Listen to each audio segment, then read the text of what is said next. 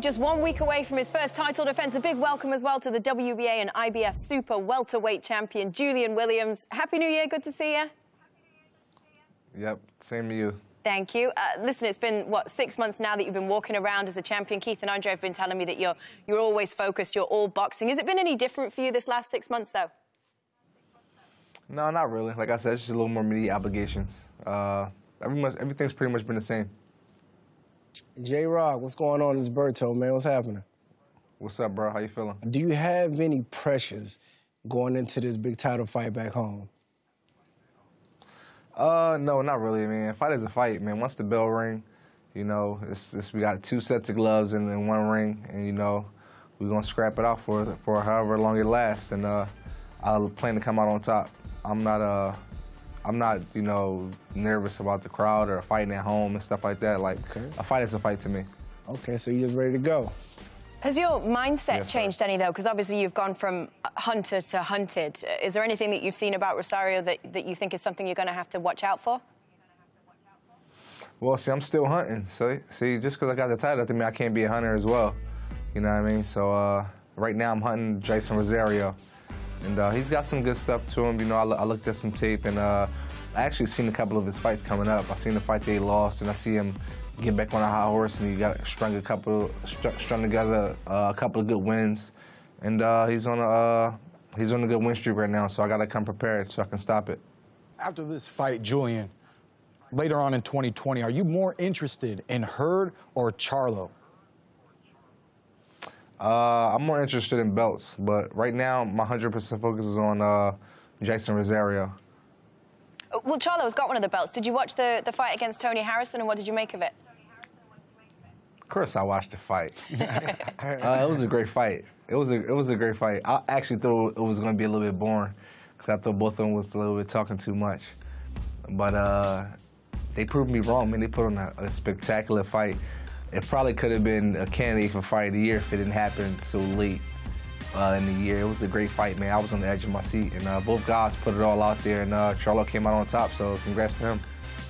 It certainly was. Uh, just going back to you for a minute, because in the countdown show, I heard you say that on the night that you beat Jarrett Hurd, you felt like you would have been 50-50 with anybody from 147 up to 160 pounds. What was so different for that mm -hmm. fight? What made you so ready for that one, and how have you managed to carry over that into your preparation for this fight?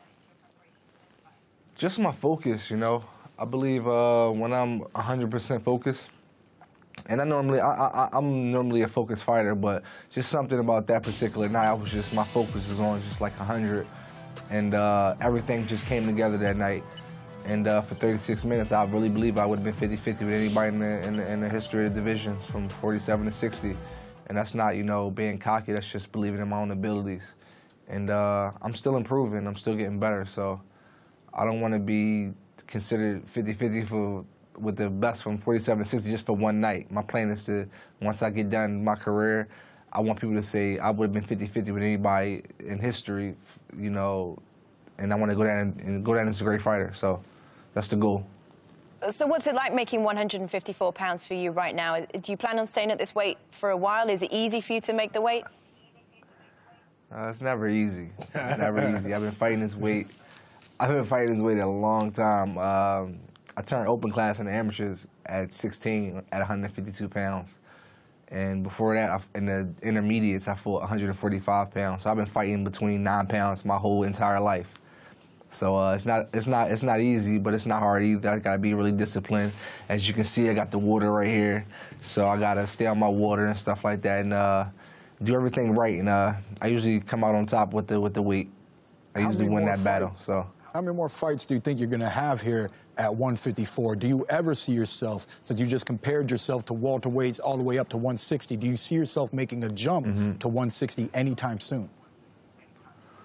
Uh, I think I got a few more fights here. You know, I, I really, I, my, my main goal is to really get all the belts because we haven't had an undisputed champion in the junior, junior middleweight division since Winky Wright, and that's been a long time.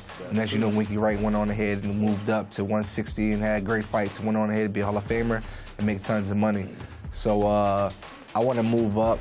I'm going to move up within the next, I think, year and a half to two years. Mainly, I, I think I could be a career junior middleweight if I wanted to.